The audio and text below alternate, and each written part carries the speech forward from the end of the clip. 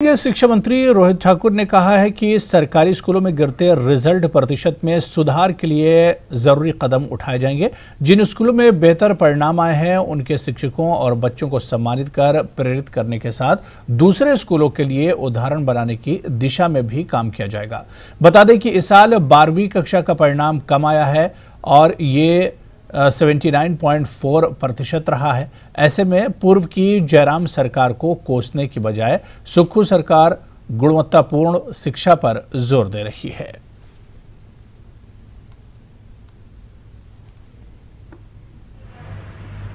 ऐसे स्कूल्स, हमारे सरकारी स्कूल्स, जहाँ पर परफॉर्मेंस रिज़ल्ट अच्छे आए हैं, वहाँ के हम टीचर्स को भी प्रोत्साहन देंगे। वहाँ जिन बच्चों ने उत्तीर्ण किया है, उनको तो निश्चित रूप से मैं समझता हूँ किसी न किसी रूप से विभाग अलग से, मैं समझता हूँ उनको इनक्रेज करेगा।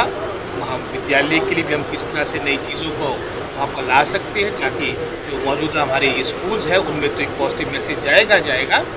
अन्य जो हमारे इंस्टीट्यूशंस हैं, हमारे अध्यापक हैं, उनको भी प्रेरणा मिलेगी।